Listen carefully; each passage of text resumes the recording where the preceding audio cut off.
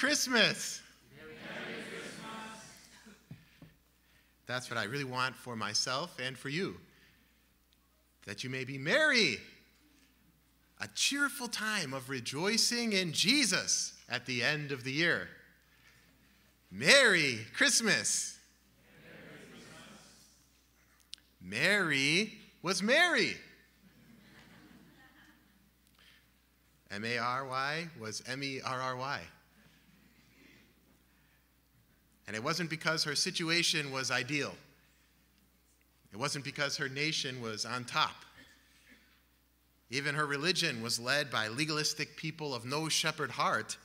Yet she said, My spirit rejoices in God, my Savior. Mary was Mary. Like Mary, we too can have the joy of Jesus coming this Christmas time and can be filled to bursting. We can engage God's calling on our lives with joy, like Mary. We can know Him as God, my Savior. But it does not begin at a shopping mall or under a tree. It all begins when we really hear and believe God's Word. When we believe God's Word, we come to meet God, my Savior. So, do you want to be Merry merry this Christmas? Or just melancholy, the sister of broccoli? No, we want to be Mary, Mary. So we have to humble ourselves and learn from a teenager. Can we be humble enough to learn from teenage Mary? Let's try. First, blessed is she who has believed the Lord. At that time, Mary got ready and hurried to a town in the hill country of Judea, where she entered Zechariah's home and greeted Elizabeth. Now, I wonder where Mary got the idea to travel all the way to Zechariah's house. In the last passage, she had been told that she would conceive and give birth to a son, even though she was a young virgin. The angel Gabriel had explained to her, The Holy Spirit will come upon you, and the power of the Most High will overshadow you. So the Holy One to be born will be called the, the Son of God. Even Elizabeth, your relative, is going to have a child in her old age, and she who was said to be unable to conceive is in her sixth month. For no word from God will ever fail. Now, when you look at people of faith, what reveals their faith? There's a saying, it's not just what we say, but what we but what we do. Mary's faith and confidence in God's word is revealed by her actions. She heard the message of God through Gabriel concerning Elizabeth and made a decision of faith based on that word that she heard. But she didn't procrastinate. She got ready and hurried by herself the long distance to Zechariah's house. Now, God Himself was waiting there to receive her. When Elizabeth heard Mary's greeting, the baby leaped in her womb, and Elizabeth was filled with the Holy Spirit. All mothers know that feeling of the baby leaping in the womb. I don't know if they were all filled with the Holy Spirit, though, because this baby was special. He was John the Baptist. And even before he was born, he was preparing the way for the Lord Jesus. He took his mission and calling very seriously. In this way, God Himself brought Mary, a young teenage girl with a great responsibility, all the way to seasoned Elizabeth, an elderly righteous woman from a priestly line. Mary's decision of faith was supported, it was enabled and strengthened by God Himself at work. Now let's look at the other side, Elizabeth. Now she must have been pretty surprised to see Mary. Mary didn't phone ahead, she just showed up one day. Teenage runaway at the door. And now, if you put yourself in Elizabeth's shoes, exciting things were going on at Zechariah's house. God was working mightily. Now, Elizabeth, she had grown old without any children. She had served the Lord faithfully with her aging husband, Zechariah. Now, God had shown her favor and taken away her disgrace. She was six months pregnant with the forerunner of the Messiah. With this going on, it would be very easy to dismiss Mary or to just understand Mary and draft her into what God was doing in Elizabeth's own life. Oh, thank God. Mary, you're here. God knew I needed help because I'm about to have a baby, so you're here to serve me. Wonderful. but that isn't what Elizabeth said at all. She was filled with the Holy Spirit. The Holy Spirit gave her inspiration to see this young teenage girl very differently.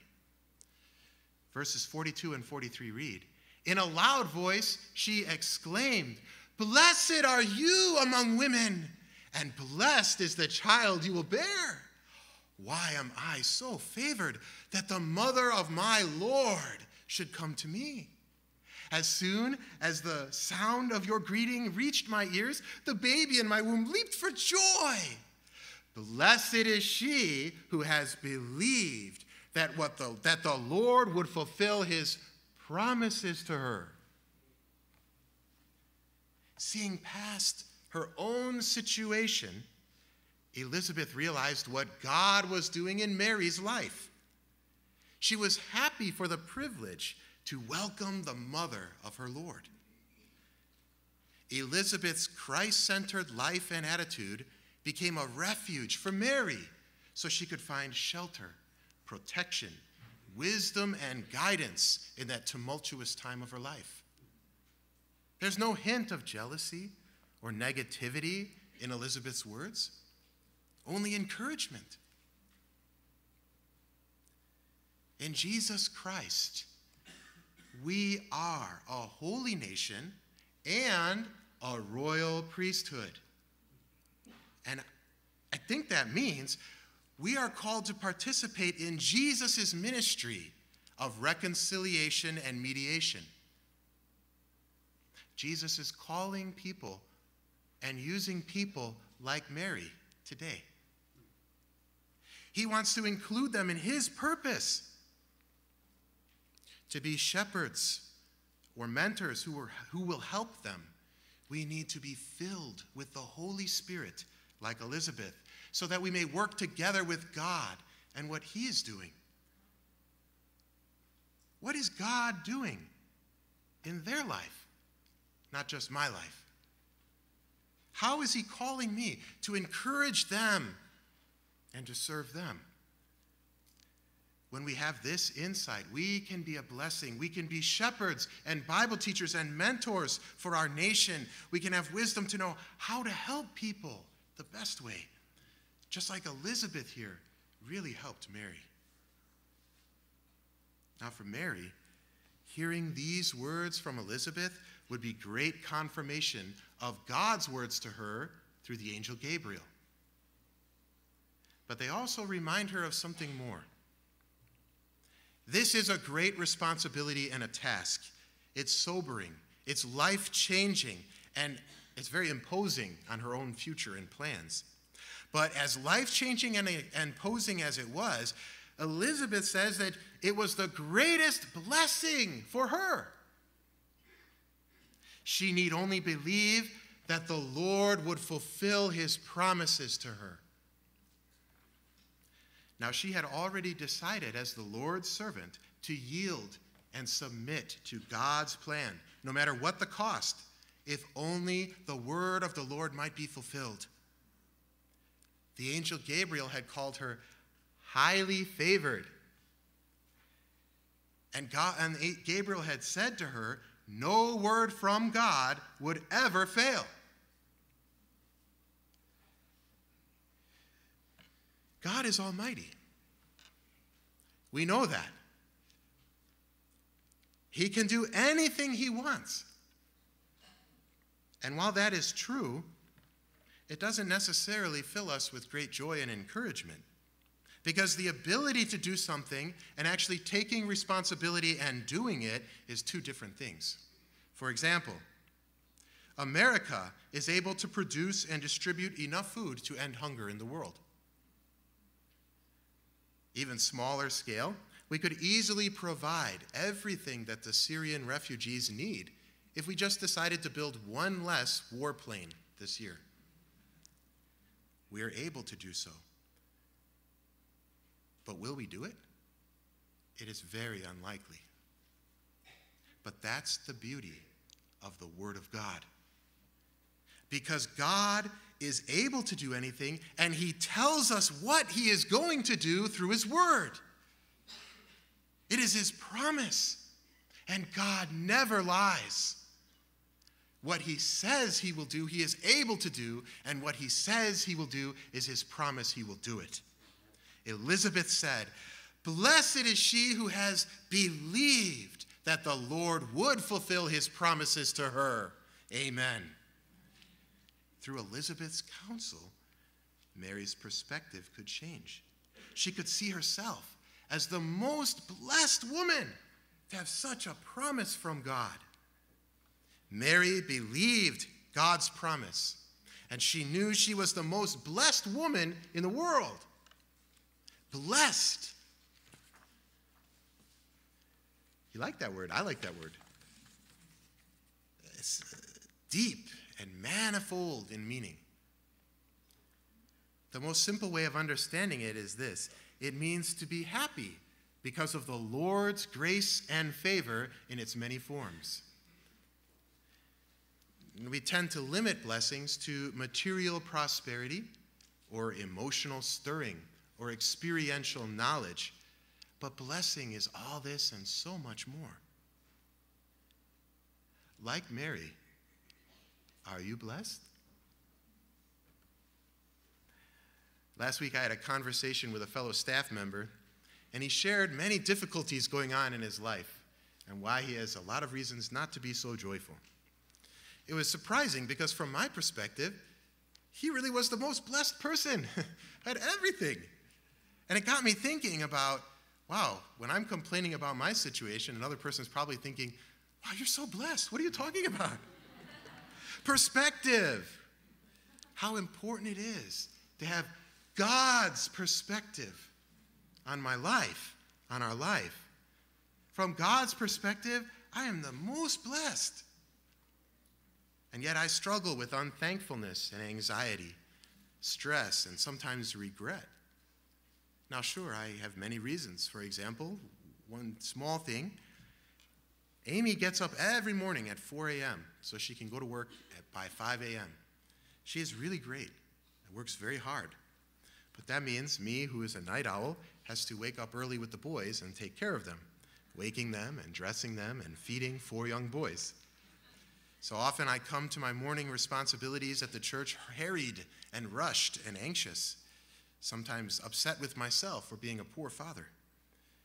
I have many things and responsibilities to do, and when I look at myself, I'm often disappointed that I didn't do this or do that or do this better. And then when I think what other people's expectations are of me, I become more burdened. But you see the point? It's all the wrong perspective. It misses the most important thing going on in my life. For Mary Elizabeth's point was this you are blessed to be the mother of my Lord. Believe it, and the realization of this blessing will come. I'm so privileged to be part of the gospel work that Jesus is doing in my generation. My family has been well provided for. We're growing. We have a wonderful task to grow as a holy family for a holy nation. Judah to grow as a priest of God. Wow. I'm following Jesus, my Savior, who called me to serve even as a preacher and a teacher of his gospel. I'm really so blessed. Thank you, Jesus. Perspective is so important. Believing God's view of my life changes everything. So, the question do you want to be blessed? The reality is, you already are. That is the story of Christmas. The good news of great joy, not for one or two people, but for all the people, every one of us. But do you want to feel it in your deep soul? To believe and realize this blessing? We have to accept that this has very little to do with our current circumstances. It has everything to do with what's going on in here, our inner world and perspective. Godly counsel is this let's find God's perspective on my life and my world. Now, this doesn't happen overnight. Someone can't just tell you, this is God's perspective. Oh, I never knew that. It's a battle. The first step, I think, is it requires us to put God in his rightful place at the center of the universe, not myself. We have to move out of that place, let God be the center of the universe and our place in orbit around him. It means as in a movie, we become the supporting role, and God is the main actor. That's not easy. It takes some intentional thought to fix our thoughts on Jesus. And that's what I saw Mary doing in her song. We find an example of this from teenage Mary. Second, my soul glorifies the Lord. So we said that we can see a person's faith not just through what they say, but what they do, like Mary, who got ready and hurried to Elizabeth's house. But like an iceberg, what we do is only the surface. There's a lot more going on in a person's life under the surface that we don't see and can't have any visibility into unless they reveal it to us.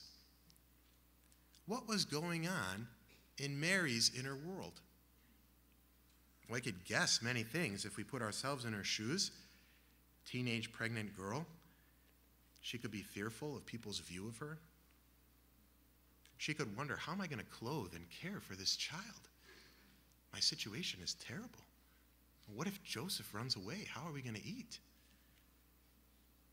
But when we read her song, none of that is in there. There's not even one hint of self pity. Instead, it's totally the opposite. Let's look at verses 46 and 47. Let's read these together. Can we read these? Okay. And Mary said, My soul glorifies the Lord and my spirit rejoices in God, my Savior. Mary's soul, her spirit, the eternal being, her character, her life, the inner person, was focused on God. She was full of joy and rejoicing in God. She was Mary, Mary. Her soul glorifies the Lord. It's better translated uh, magnifies. My soul magnifies the Lord. I think it means her inner world wanted to reveal, to praise, to give glory, to worship the Lord, magnify the Lord. Magnifying something doesn't change what it is. It just reveals it. It makes it's like making something very very small, like a single-celled organism much, much bigger in our eye so we can understand and study it so much deeply. So we need to get into focus in what Mary saw to share her joy. Joy. Christmas is the time of joy. But it's also a time of hardship. People struggle with finances, family relationships. I'll never forget this story I read several years ago about one young girl whose worst time of year was Christmas because her parents had divorced and remarried and divorced. So everyone was saying, I'll be home for Christmas. But she had no home. Is it dad's home?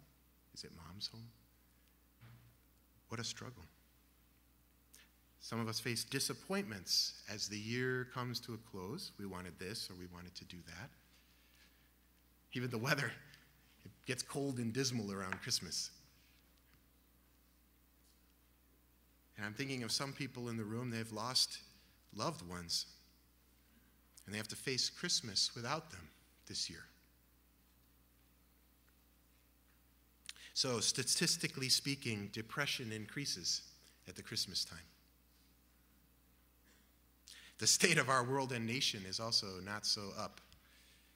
And we can put on smiles, but sometimes the deep content isn't really there. It's no wonder that we often root or transition to some temporary thing to try to find some joy, some event, or some activity.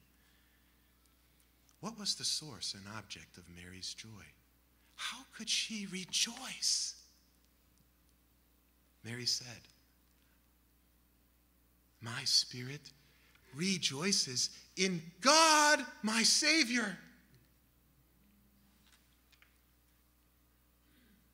Instead of peppermint mochas or football, sales, and events, let's take time to think about God, my Savior, based on Mary's song. In what way was she rejoicing in God, my Savior? God is my Savior who has been mindful of me. Verses 48 and 49 read For he has been mindful of the humble state of his servant. From now on, all generations will call me blessed, for the mighty one has done great things for me. Holy is his name. Mary saw her humble state as a teenage girl in an oppressed nation. She longed to serve God. She called herself the Lord's slave, the Lord's servant. She had identity, but she had no power or influence to do anything about it.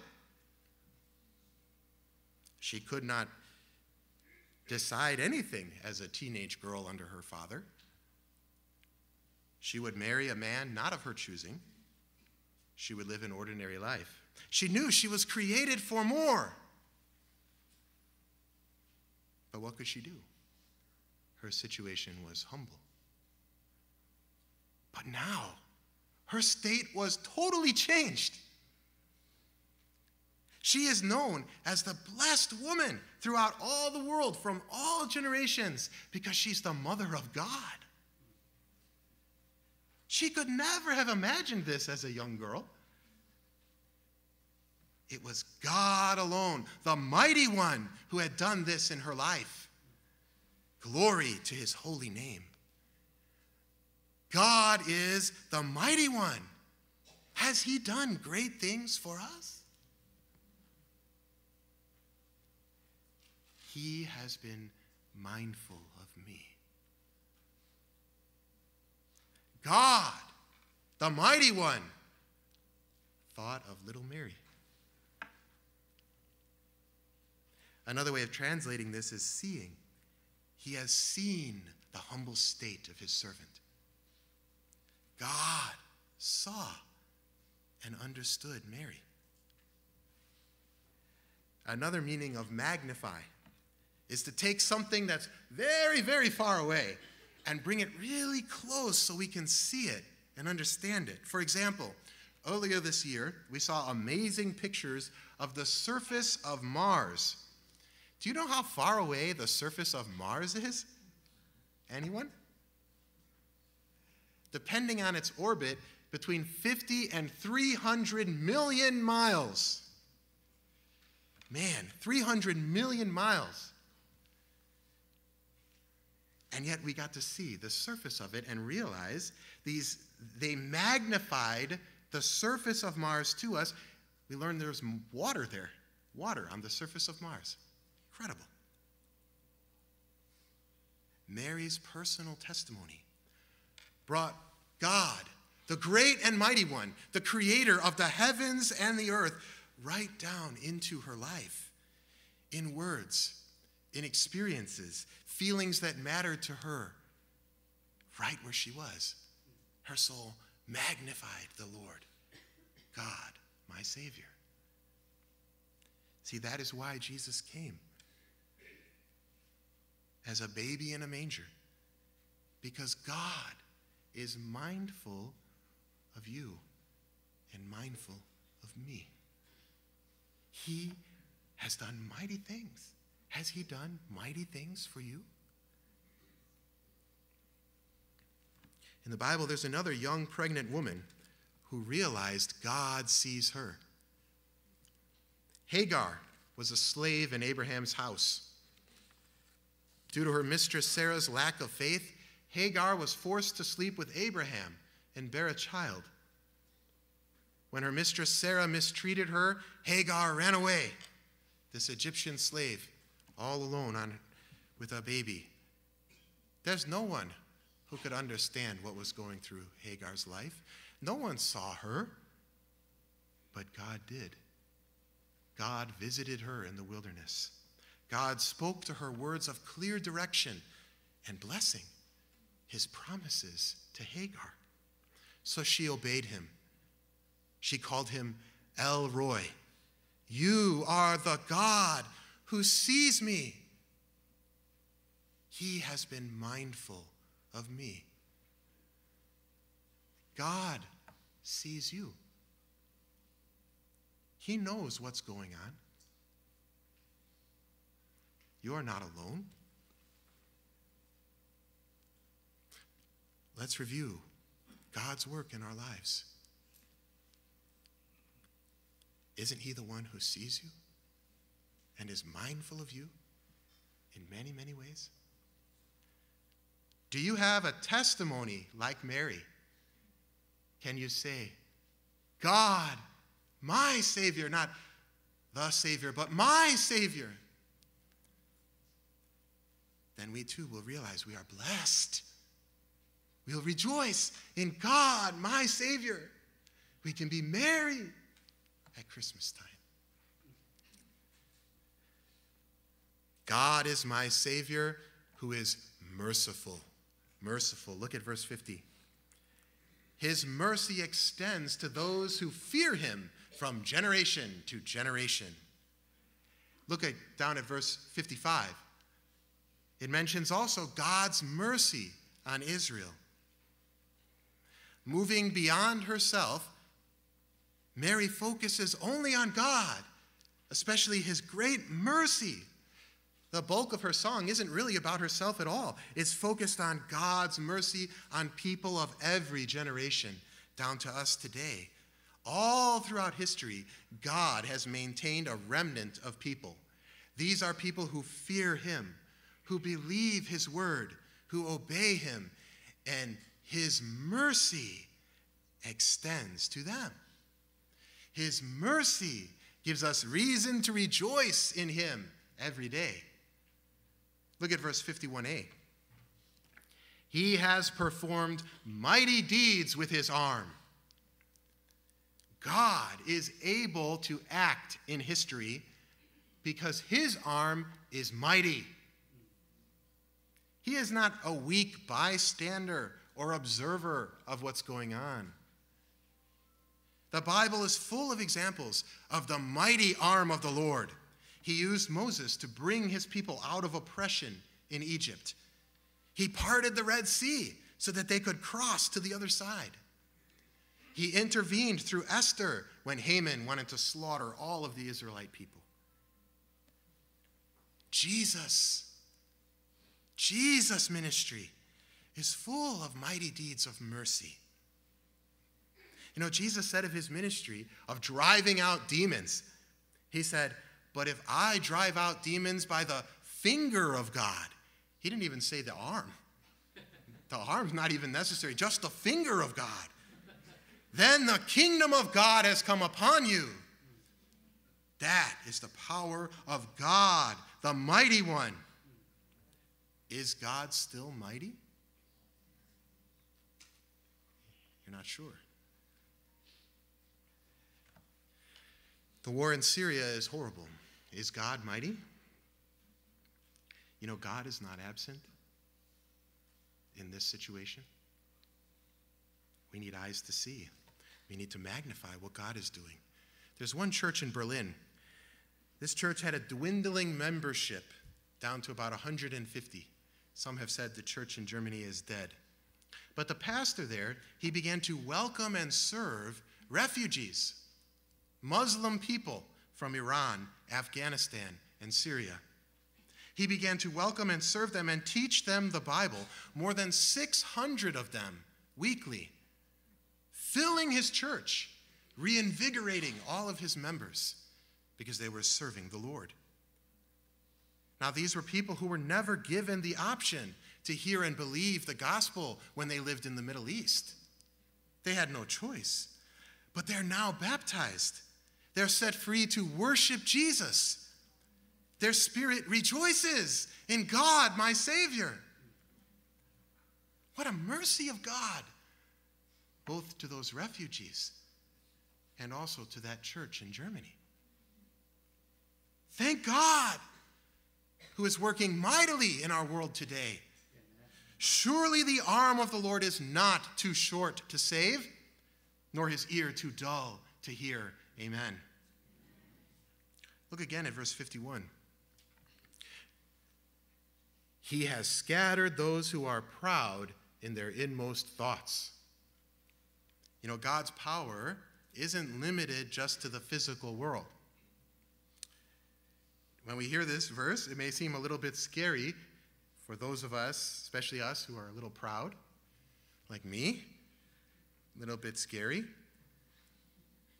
But remember, his mercy is shown to those who fear him. Those who fear God, his mercy is extended to. See, those who are proud, God is able to humble. No problem. Thank you, God. Many years ago, I was told asking God to humble you is one prayer he always answers. I had no idea what that meant. I learned uh, in many ways. What a mercy that God deals with us in full disclosure. You know, He also knows what's going on in others' lives. We have no idea sometimes, but we don't need to speculate. But trust God, who is able to deal with us as we really are. He knows. It's His mercy. Look at the reversals, verses 52 and 53. He has brought down rulers from their thrones, but has lifted up the humble. He has filled the hungry with good things, but has sent the rich away empty. That's human history. It's kingdoms rising and falling, but behind this is God Himself ruling and overruling. And God lifts up the humble. Mary is one example, but Jesus is the greatest example. Although He is God, He humbled Himself and was born to poor parents in an oppressed nation and laid in a manger. He was wrapped in rags. Yet this sorrowful origin did not make him a victim. He did not live as a victim. He loved and he served, even to the point of laying down his life so that our sins may be forgiven. God exalted this Jesus to the highest place and gave him the name that is above every name. This Jesus is King of kings and Lord of lords. We serve him. Who's your boss? Jesus, King of kings, Lord of lords. He's our King. And He fills the hungry with good things. True satisfaction and contentment aren't found in material blessings or human relationships or meaningful achievements. Because all of these things, they come and go in our human experience. But those who hunger and thirst for righteousness, they will be filled. Those who feed on Jesus will never be hungry again. We find real and true satisfaction in God, my Savior. Verses 55, 54 and 55 read, He has helped his servant Israel, remembering to be merciful to Abraham and his descendants forever, just as he promised our ancestors. Mary saw that this baby growing in her womb was the Messiah of the world, fulfilling God's great plan. Now, Israel, they needed a lot of help because they had failed in every way as a kingdom of priests and the holy nation. They did not serve others. But in Jesus, God helped them fulfill their identity and purpose as his chosen people. So God did not fail. His scope was far greater than Abraham's descendants. His promise to Abraham was, I will bless those who bless you, and whoever curses you, I will curse. And all peoples on earth will be blessed through you. That includes us who are not his descendants by blood, but we are counted as God's people because of Jesus. God is faithful in his mercy in every generation. He carries out his purpose in our generation as well. He is calling us to make disciples of all nations on earth. Will he fail? Oh, you're not sure? Will he fail? Never. It includes a remnant of students on every campus in our homes. It is his promise. He will do it. Let's depend on his mercy. Let's look at verse 56. It's my last paragraph here. Mary stayed with Elizabeth for about three months and then returned home. When you look at the last passage, Mary had heard the angel's greeting when Elizabeth was about six months pregnant. And it takes a while to get there, so maybe Elizabeth is now six or seven months pregnant when Mary shows up.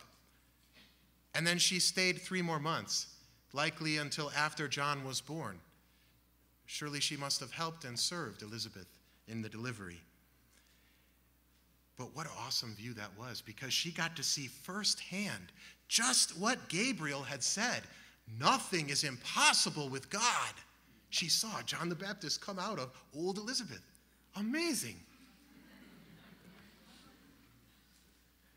It's really nice to see that. It'd be nice to stay with Elizabeth, actually, and just trust her tutelage. Just follow Elizabeth. Going home by herself? Ooh, that's very hard. But Mary did not stay with Elizabeth. She stepped out, boldly and courageously engaging God's calling and purpose for her life. She did so believing she was so blessed because God would fulfill his promises to her. Let's read verse 47 again. Mary's confession, okay? And my spirit rejoices in God, my Savior. So, it's decision time. Do you want to be Mary, Mary, or melancholy? Let's not get distracted this season from the joy that should be ours in Jesus Christ. Let's remember his personal grace to us. He has been mindful of us. Let's remember his good character of mercy shown through his mighty arm.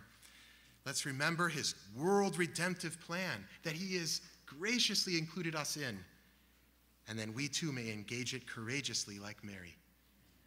May you compose many songs of joy like Mary. My soul glorifies the Lord, and my spirit rejoices in God, my Savior. Amen. Father, we are so thankful that you shared with us the inner world of Mary. She was so merry. She was so happy. She was so joyful. Her life, her inner person, magnified you, revealed you, brought you out. We want to experience this. It's so easy for our perspective to become so narrow and self focused. Lord Jesus, draw our eyes to you, to what you have done, and who you are, and fill us with joy this Christmas time. Deep and abiding joy that comes from our deep soul, like Mary had.